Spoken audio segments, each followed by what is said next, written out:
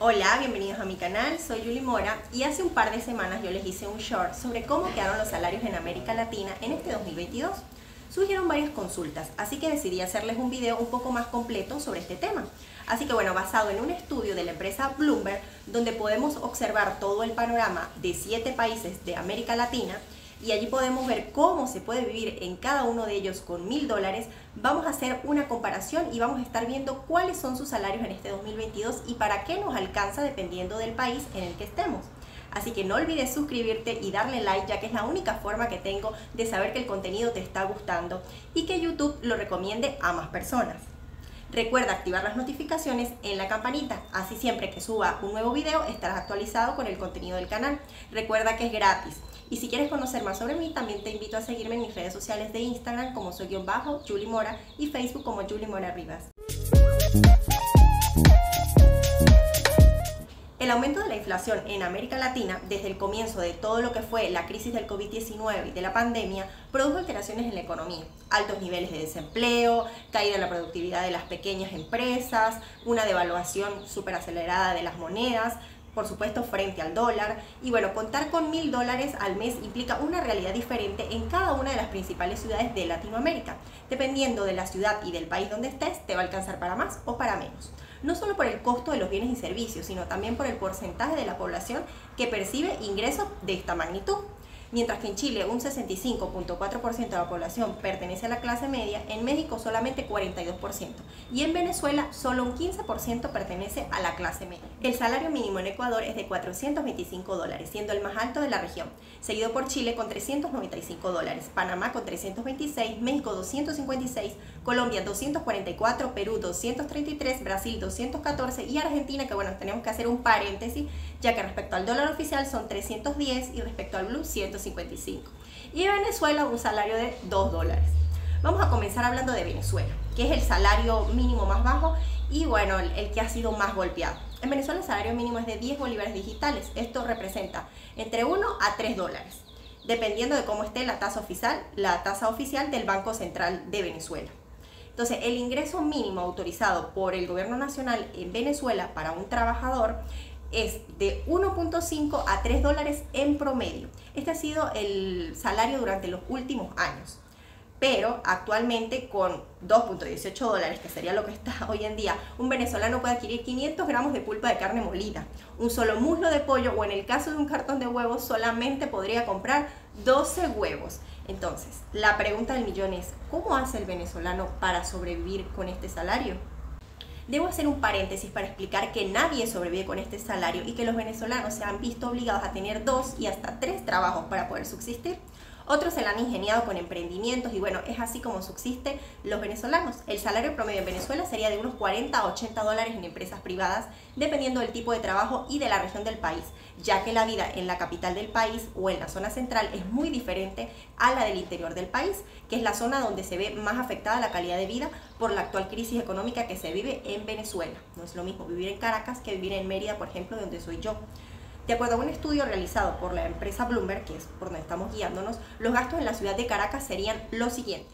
Alquiler en una casa en la zona del este, estamos hablando de una buena zona de Caracas, estaría alrededor de 500 dólares por mes.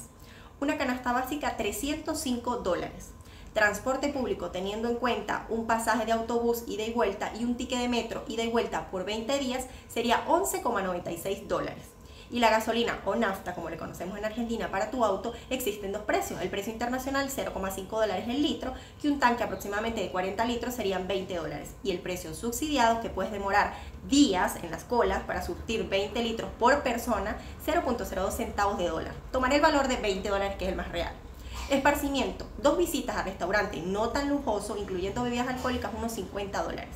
Gastos médicos, una consulta al mes está alrededor de los 49 dólares. Servicios básicos como luz, agua y cable, 29 dólares. Internet con fibra óptica de 50 megabytes al mes, 20 dólares. Cuidado personal, unos 3.6 dólares. Y gastos en mascotas, como consultas, peluquería y comida, puede estar alrededor de los 65 dólares. Cabe destacar que tener una mascota en Venezuela es un lujo y no todos pueden pagar ese lujo. Vamos a hablar ahora de Chile. Desde el 1 de mayo del 2021, el salario mínimo en Chile es de 337 mil pesos chilenos, unos 395.98 dólares, tomando el tipo de cambio de 851 pesos por dólar. El promedio en Chile para una persona de clase media en los gastos ronda en lo siguiente. Alquiler de un apartamento de dos habitaciones en una buena zona, 580 dólares. Una canasta básica, 157 dólares. El transporte público que incluye pasaje de metro y de vuelta por 20 días, 34 dólares. La gasolina o nafta para tu auto, 40 litros por 48 dólares. Esparcimiento que te incluye dos visitas al restaurante y dos salidas al cine, 40 dólares. Gastos médicos que te incluye una consulta privada, 45 dólares. Los servicios básicos como luz, agua y gas, 38.7 dólares. Internet, 35 dólares. Y el cuidado personal que te incluye chapú, jabón y quizás un corte de cabello, 25 dólares. Gastos de mascota, 60 dólares. Hablamos ahora de Colombia. El incremento del salario mínimo en Colombia para el año 2022 es el más alto que se ha registrado en los últimos 40 años y se ubica en un millón de pesos colombianos, unos 244 dólares tomando el tipo de cambio 4.064 pesos por dólar. Sin embargo, se mantendrá por debajo de los salarios mínimos actuales del país de la región, como por ejemplo Uruguay con 406, Paraguay con 335 y Bolivia con 314.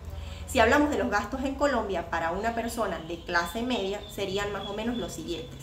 Alquiler 238 dólares, canasta básica 240 dólares, transporte público, pasaje, ida y vuelta en Transmilenio por 20 días 26.4 dólares. La gasolina 40 litros 26.4 dólares. Y esparcimiento contando 6 entradas al cine unos 25 dólares. Gastos médicos 19.2 dólares. Servicios básicos 74.3 dólares, el internet 22 dólares, cuidado personal 3,49 dólares, gastos de mascotas 11 dólares. El valor del salario mínimo en Brasil en 2022 es de 1.212 reais, que en dólares serían unos 214 dólares. Y el alquiler promedio de un departamento de unos 85 metros cuadrados no se baja de 300 dólares. La canasta básica 117 dólares, transporte público mensual en metro ida y vuelta unos 47 dólares, gasolina 42,40 y esparcimiento tomando un promedio de un plato ejecutivo unos 7.95 dólares. Gastos médicos 27 dólares y servicios básicos 1.72 por cada 100 kilobytes. Internet 18.14 dólares por plan mensual de 300 megas en fibra óptica. Cuidado personal 5.26 dólares incluye champú, desodorante. Gasto de mascotas 34 dólares. México. El salario mínimo en México aumentó en 2022 de 141 a 172 pesos diarios, de 5.258 pesos mensuales, unos 256 dólares, tomando el tipo de cambio 20.51 pesos por un dólar. Entonces, ¿para qué nos alcanza esto en México? Bueno, el alquiler en una zona de ingreso medio, en una zona buena, alrededor de unos 390 dólares. La canasta básica, unos 86,78 dólares. Transporte público mensual, 12.73 dólares. La gasolina 40 litros 39 dólares. Esparcimiento que incluye cuatro meriendas más cuatro comidas en algún restaurante y una entrada al cine y quizás una entrada al museo 102.96 dólares. El gasto médico que incluye una visita médica 48.75 dólares. Vemos que es muy similar en casi todos los países, está alrededor de los 50 dólares el gasto médico. Los servicios básicos como luz, agua y gas están alrededor de los 33.64 dólares, internet y cable unos 33.64 dólares también, y el cuidado personal alrededor de los 68.25 dólares, incluyendo corte de cabello, arreglo de uña, quizás un masaje o una visita al dentista. Eh, los gastos de mascotas 29.25 dólares mensuales. Si hablamos de Perú, el salario mínimo en Perú es de unos 233 dólares para este 2022, siendo los gastos promedios en los distritos de Surquillo, San Miguel, Pueblo Libre, Lince y Jesús María, que son como los lugares más top, por así decirlo, los siguientes. El alquiler eh, ronda unos 820 dólares por mes. La canasta básica 81.42 dólares. El transporte público eh, mensual unos 19.84 dólares esparcimiento unos 25.44 dólares, esto incluye dos visitas al restaurante. Eh, cabe destacar que estos estudios se hicieron para la clase media, por eso pueden observar unos costos quizás un poco elevados en los alquileres. El gasto médico de unos 25.44 dólares, una consulta al mes. Servicios básicos como luz, agua y gas, unos 50 dólares. El internet 15.49 dólares al mes. Eh, los gastos para mascota, unos 50.89 dólares también al mes. Vamos a hablar de Argentina. Bueno, acá el salario mínimo depende si lo tomamos en dólar oficial o en dólar blue. En la actualidad el salario está en 31.938 pesos argentinos, que al cambio oficial da aproximadamente unos 310 dólares, pero al tomar como parámetro el dólar paralelo o blue, la cifra desciende casi a la mitad a 155 dólares si tomo un tipo de cambio de 200 pesos eh, por dólar, que bueno, todos los días ha ido subiendo. eh, creo que hoy está en 214. El alquiler de un departamento, dos ambientes, sale aproximadamente en 358 dólares. Eh, estoy hablando de la ciudad de Buenos Aires, para que lo tengan en cuenta. La canasta básica, 223 dólares. Eh, la gasolina, 40 litros o nafta, 36.4 dólares. El transporte público, unos 7.2 dólares, incluyendo viajes ida y vuelta de unos 0 a 3 kilómetros dentro de la provincia de Buenos Aires o la ciudad de Buenos Aires. Con respecto al esparcimiento, unos 7 unos 113.64 dólares, incluyendo dos tickets para el cine, dos entradas al museo, dos cenas en un restaurante, dos entradas al teatro. La verdad en Argentina hay muchísimo esparcimiento gratis, así que bueno, yo no tomaría este renglón muy en cuenta. El gasto médico sería alrededor de unos 118.29 dólares, que incluye un chequeo médico en un privado. Esto es si no tienes obra social o prepaga, porque como ustedes ya saben, en Argentina la salud es gratis y pública.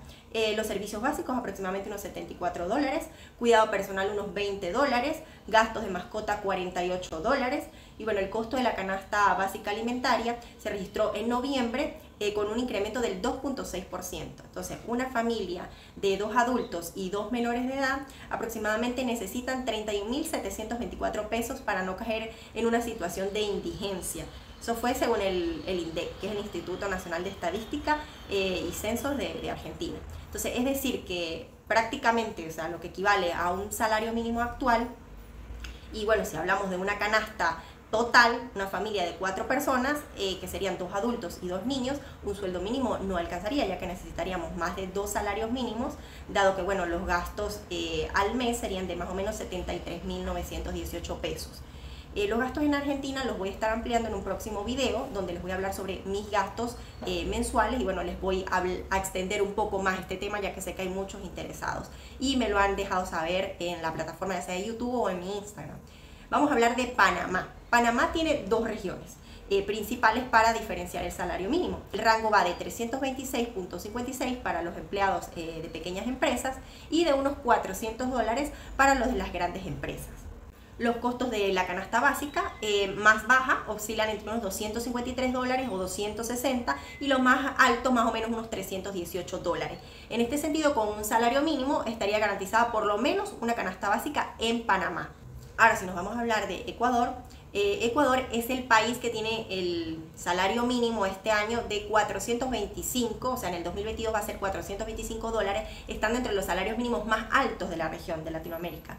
Eh, según el Instituto Nacional de Estadísticas y, Centro, y Censos perdón, del Ecuador, el costo de una canasta básica familiar de cuatro miembros, o sea, dos adultos y dos menores, es más o menos de 715 dólares por lo que al menos dos personas deben cobrar un salario mínimo en Ecuador para poder eh, afrontar el costo de la canasta básica total. Por otro lado, les quiero decir que toda esta información está basada en estudios socioeconómicos realizados, como les dije anteriormente, eh, por la empresa Bloomberg, que se encarga de realizar eh, diferentes encuestas sobre los costos de vida y bueno, yo simplemente se las estoy haciendo llegar a ustedes. Si eres de alguno de estos países y te parece que alguno de los valores están por debajo, quizás por arriba, déjalo por favor en los comentarios y házmelo saber, así bueno, para un próximo video podré ampliar esta información. Y por supuesto, si te gustó el video, no olvides darle like, así YouTube sabrá que te gustó y podrá recomendar el video a más personas. Si no lo has hecho, suscríbete y activa las notificaciones en la campanita, es totalmente gratis.